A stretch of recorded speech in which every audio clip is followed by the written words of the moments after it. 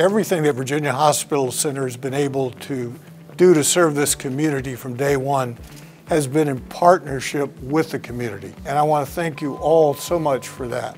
We've had a challenging few months here and our staff has been uh, really amazing. This is a chance for you to see the hospital's next phase and transformation to a better and improved place. This unit's 21 beds. It's very exciting for patients to come in here. I think they've done a great job in terms of kind of the themes and the colors that are relaxing. This nurses station looks a lot different than other nurses stations. So it gives us this ability to have this really wide open stance.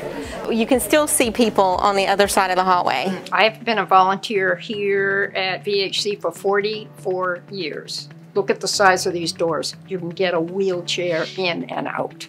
I just love this hospital. We were able to make changes on the fly to change this whole unit, every bed in this unit, to a negative pressure room. The air in that room doesn't get back out into the hospital. It's at a negative pressure relative to the environment around it. I was a submarine officer before I went into the medical practice, and we're really big on clean air in submarines.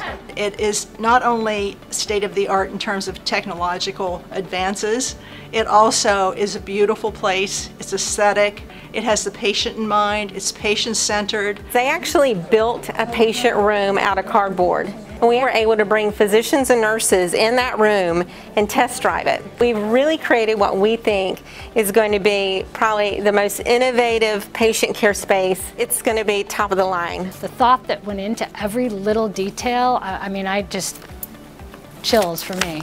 I am most excited about the outpatient pavilion and just all the things that are going to be available in one stop. It's like a one-stop convenient shop for all of your healthcare needs. They've thought of so many things for the patient to make their stay much better and certainly that's therapeutic for their return to health.